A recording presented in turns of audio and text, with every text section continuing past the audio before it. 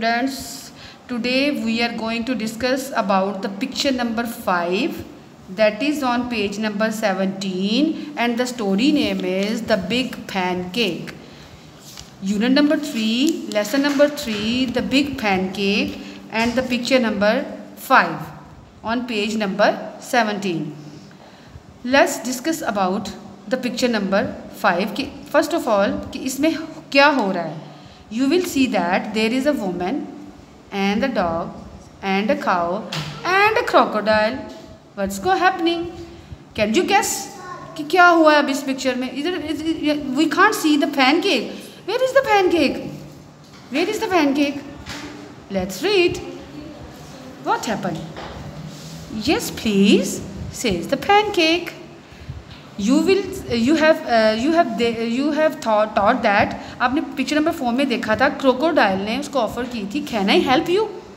crocodile ने pancake से पूछा था कि क्या मैं आपकी हेल्प कर सकता हूँ? अब यहाँ फैनकेक नहीं है।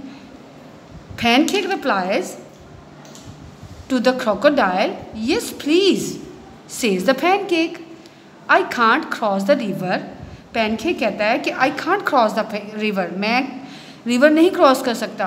Why because he don't know how to swim because I can't swim वो कहता है, क्योंकि मैं स्विमिंग नहीं कर सकता, मैं तैरना तैरना नहीं जानता तो मुझ, मैं रिवर भी क्रॉस नहीं कर सकता. अब देखें क्रोकोडाइल उसको क्या कह रहा है? गेट ऑन माई बैग आप मेरी बैग पे आ जाओ. उसको कहता है get on my back I will help you मैं आपकी मदद करूँगा. Says the crocodile pancake gets on the crocodile's back अब पैनकेक क्या है? वो उसकी बैग पे जाने की कोशिश कर रहा है। And snap the crocodile eats it up what a nice pancake says the crocodile have you seen that what happen आपने देखा क्या हुआ है?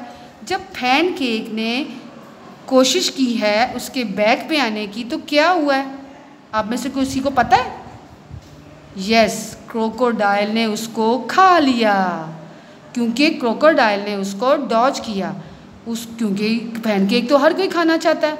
वो उसकी हेल्प नहीं करना चाह रहा था, वो उसको सिर्फ़ डॉज कर रहा था। ठीक है? जैसे ही पैनकेक ने उसको आने की कोशिश की, यहाँ यू विल सी दैट ये देखें, कि वो कैसे अपनी ज़बान को कर रहा है, टंग को। इट मीन्स कि उसने यहाँ पर पैनकेक खा लिया है। And snap, the crocodile eats it up. What a nice pancake, says the crocodile. crocodile ने खा लिया और बाकी सब देखते कि देखते रह गए is it clear okay thank you so much अल्लाह हाफिज़